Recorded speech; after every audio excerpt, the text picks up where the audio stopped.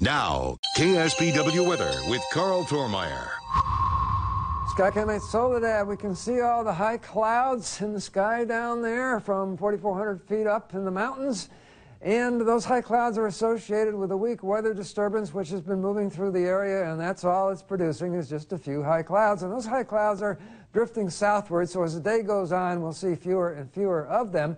Let's go take a look at the satellite picture and how that all transpires. And you can see 24 hours ago we had these higher clouds and they've moved in just about from Monterey southward, but they're pushing off to the southeast now. And we don't see much in the way of low clouds because the marine layer is so shallow this morning, it's really hard to depict them on this particular satellite imagery.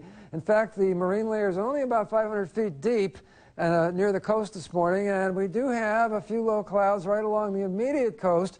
They came into Monterey about 5 o'clock, 5.30 this morning, but they're not going to hang around very long. And if we go up in the Santa Cruz Mountains, we can see the temperatures start increasing almost right away. Sea level at 50 degrees near Capitola, 62 at 1,250 uh, feet, and 69 up at 2,600 feet. So definitely rising temperatures as you go up. And near sea level, temperatures pretty close to 50 degrees or the low 50s.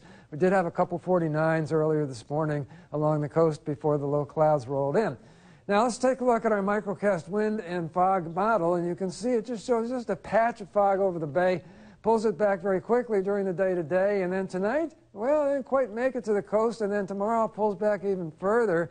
And it's going to be Monday morning before we have a significant fog problem again. So we're going to have a couple of great days, particularly for the air show. There have been times with the air show we've had to worry about will the fog burn off. Not this year. Temperatures throughout the entire area here. Let's start with San Francisco with a high of 67 today into the upper 70s in the South Bay. And as we take a look at the Santa Clara Valley, we're talking about uh, upper 80s in the warmest locations. The Salinas Valley, 71 in Salinas, uh, low 80s down around King City, reaching up into the 90s down around Bradley and the lakes. In the Monterey Peninsula, we're going to say low to mid 60s along the immediate coast and mid 70s in Carmel Valley Village, Toro Park, places like that, the warmer areas. Up in Santa Cruz County, mid 70s along the coast, mid 80s in the mountains. These pretty typical temperatures for September. On the bay, about three to five feet of swell out there and surf. Looking at Steamer Lane right now, not a whole lot going on, not any big waves. There's about a three or four footer coming in now. Now, we do expect the swell to increase tomorrow. In fact, between Sunday night and Monday night, there is a, a, an advisory out about some high swells that will be rolling in. So we can talk more about that tomorrow.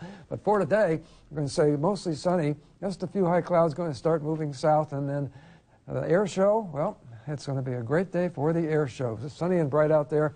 Few high clouds uh, won't bother a thing. Monterey Jazz Festival, well, the word there is it's going to be great, but don't be fooled because if you're going to be there tonight, you can get cold real fast sitting in those chairs in the fairgrounds. So dress in layers. And then tomorrow, I think a few degrees warmer along the coast, a couple of degrees cooler inland, no big deal really. And for the rest of the week, uh, minor changes. But you see, there's more suns out there and fewer clouds than we've seen in the past couple of months. So our summer is here. Our summer is here to stay for the next couple well, months yeah, anyway, for a right? While. yeah. All right. Thanks, Carl.